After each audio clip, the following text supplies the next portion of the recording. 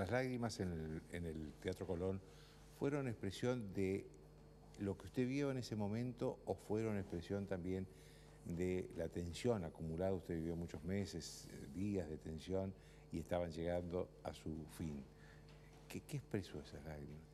Que es difícil, me piden que racionalice una emoción, ¿no? ya arrancamos medio raro. Pero a mí, yo antes de quebrarme ya venía respirando hondo, porque cuando hablé con Hernán, Gabriel Ricardes, Mossi, con Ricky Pascus, y fui, fui a un par de ensayos, le dije, lo que yo quiero es mostrarle al mundo todo lo que somos, desde el sur hasta el norte, recorrer nuestra geografía en imágenes.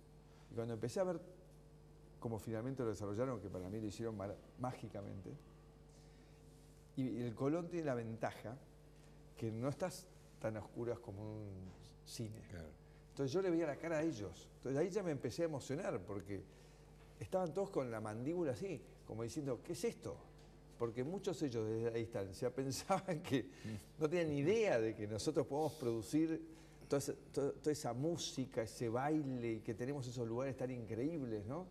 Y esa naturaleza, ¿no? Porque vas de la ballena, eh, que tenemos uno de los mejores avistajes del mundo, al lugar más al sur del mundo con, la vista de Ushuaia y los glaciares y las cataratas y el, campo y, el camino del vino.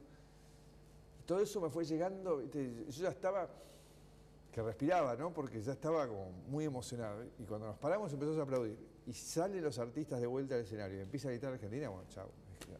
Ya Dije, esto es un papelón, pero no pude aguantar.